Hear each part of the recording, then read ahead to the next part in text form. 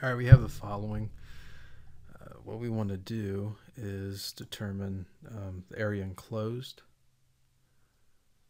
So to do that, um, we find the intersection points. So the intersection points in this case, uh, y equals x for x, um, or sine of uh, pi over x divided by 2. So y is equal to each other, so it's just sine of pi of x over 2 equals 2x.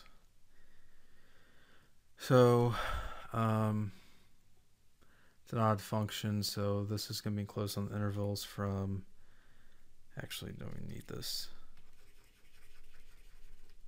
From uh, negative 1 to 1. And 1 to 1 and 0, 0. Th these are the, the, exact intersection points. Okay.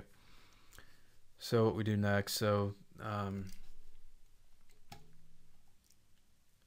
what we're going to do is integrate this from 0 to 1, and the reason why is because, again, we'll cancel out the left side, and we'll end up with the summation equal to 0 if we do it that. So we just double up. So what I mean by that, area is equal to 2, quantity 0 to 1 of the sine of pi x over 2 minus x dx.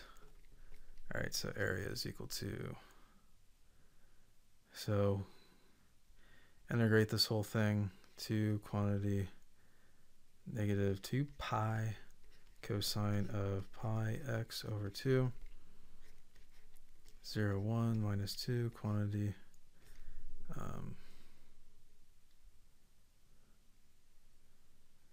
x squared over 2 from 0 to 1 using the chain rule. Alright, area is equal to 2 times quantity negative 2 over pi.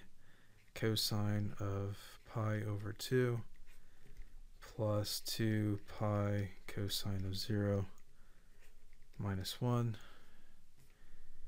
is equal to 2 times 2 over pi minus 1, which is all equal to 4 pi minus 1.